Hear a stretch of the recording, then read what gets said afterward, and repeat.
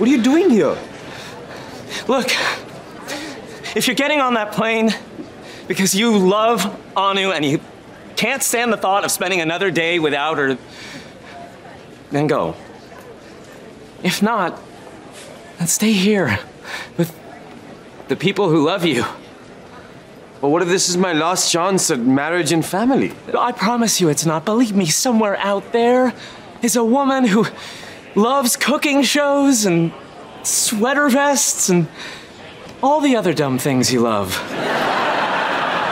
You really think so? Yes. And I don't think she's waiting for you in England. When you propose to someone in Notting Hill, it should be to someone who knows what that movie is. Are you saying you're just a boy?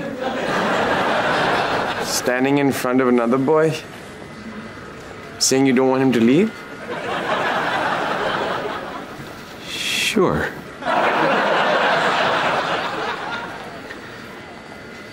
I love you, buddy. I love you too.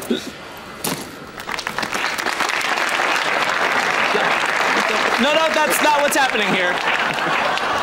Come on. How do you get past security? You have To buy a ticket, you owe me 1,300 bucks.